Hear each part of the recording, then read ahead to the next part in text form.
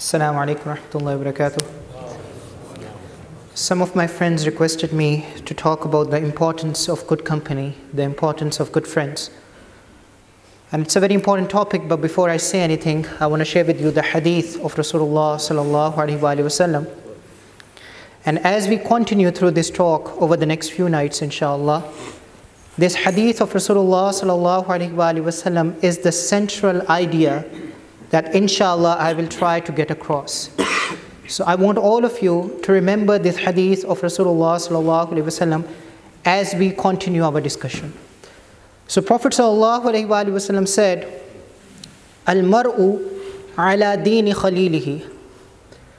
A person depends upon the faith of his friend. A person's religion, a person's faith depends upon the religion of his friend. فَلْيَنْظُرْ أَحَدُكُمْ مَنْ يُخَالِلْ So watch out, each one of you, who you make friends with. Watch out, let me say it again one more time. Prophet ﷺ said, Watch out, each one of you, who you make friends with. In other words, it doesn't matter if you are religious or not, if you are righteous or not, if you are knowledgeable or not, if you worship Allah subhanahu wa ta'ala five times a day or not, if you know the whole Quran by heart or not, if you are an imam or not, if you are a da'i or not, your downfall will not necessarily comes from you. It will come from whom? Your friend.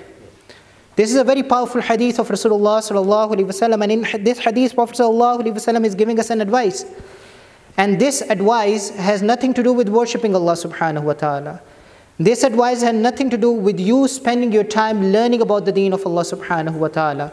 The essential advice in this hadith of Rasulullah sallallahu alaihi wasallam is who you make friends with. And by the way, this is one of the central, one of the core things in our religion, who you make friends with. One of the core things in our religion. Let me give you a small example. I won't give you a wrong reminder tonight, inshallah. It will be really small. Let me give you this example. Six, seven years ago, I was in Dundee, and I was studying in Dundee. In Dundee Central Mosque, I met this brother, African American brother. He was doing his PhD in petroleum engineering in University of Dundee. And he told me that he had been in jail a few times. He had been arrested for trying to rob, for drugs, for things like that. And it just so happened that one of his friends, one of his childhood friends, is a Muslim. And he was not in touch with that friend. And by the way, this guy that I'm talking about, he was a recent convert. he said, One of my friends happened to be a Muslim. and after being getting into trouble for so many times, I didn't have any place to live. Everyone kicked me out of his house. So I called up this Muslim friend of mine. After a very, very long time, I was not in touch with him, but I didn't have any any, any, place, any else place to stay. So I called up my friend, Muslim friend, and I asked him, can, can I hang out with you for a few days? Can I stay over with you for a few days? And he agreed. So he said, I stayed over with him for a few days. And as I spent time with him, I got to introduce how this friend of mine lived his life of Islam. And when I got to introduce to his life, I became Muslim. I took a Shahada. When I met him in Dundee, he was in Dundee at that time, six years ago. At least I know a dozen people who became Muslim because of him in Dundee. Allah subhanahu wa ta'ala, you know, all I did for him is one thing. Guidance is in the hands of Allah subhanahu wa ta'ala. You cannot guide whoever you want to guide. I cannot guide whoever I want to guide. Guidance is in the hands of Allah subhanahu wa ta'ala. But Allah only opened one door for him. That brought him to Islam. And not only that brought him to Islam, he becomes a means of guidance for so many other people. And that one door that Allah subhanahu wa ta'ala opened for him was a door to his friend. That's it. Just because of his friend, he became a Muslim. And now he becomes a da'i and he is, so many other people are becoming Muslim because of him. So the thing that I want to share with all of you, the thing that I want to talk about with all of you is something that I've never talked about before. So I sincerely pray to Allah subhanahu wa ta'ala that Allah helps me and guides me. And I will be able to help you understand what Allah subhanahu wa ta'ala is trying to tell us about this concept, concept of friendship in the Quran. There are different kinds of friends that are mentioned in the Quran. Quran talks about the subject matter of friendship and then Quran gives different terms to different kinds of friends. There are almost more or less 10 different terms that are used in the Quran. Number one, Qareen, Khazul, Wali, Siddiq, Khalil, Hamim, Aqdan, Walija, Sahib, many different terms.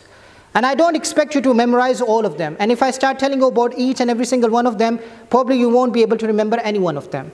So what I will do with you, inshallah, what I will share with all of you is that I will only tell you about two kinds of friends that are mentioned in the Quran. And Quran says these are the closest friends that you can have. I'm not telling you if they are good friends or bad friends. Quran is not talking about if these friends are good friends or bad friends. No. But Quran says these two friends are the closest friends that you can have in your life. One of them is Khalil and the second of them is Rafiq. Please keep these two terms in your mind.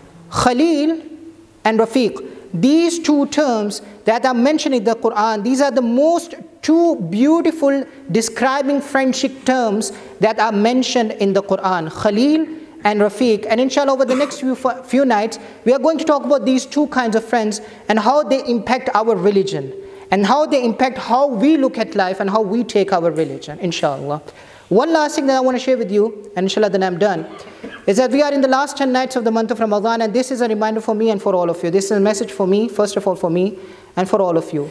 In these last 10 nights, if we can give charity every single night, and by the way, when I say charity, I don't mean Iqra Academy. I don't mean you should give charity to Iqra Academy, and I don't mean that you should give charity 10,000 pounds every year or every, every night. When I say charity, it can be one pound. It can be one penny. But give some charity every single night in the last 10 night of the month of Ramadan. And you know why I'm saying this?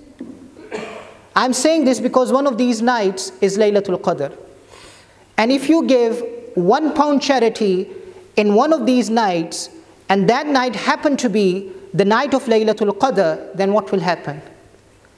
It will be like you are giving one pound every single day for 83 years you will get the reward of giving one pound charity every single day for 83 years. So I suggest myself and all of you, if we all can give charity in the last 10 nights of the month of Ramadan. And also, I know some of you brothers, mashallah, may Allah subhanahu wa ta'ala reward you.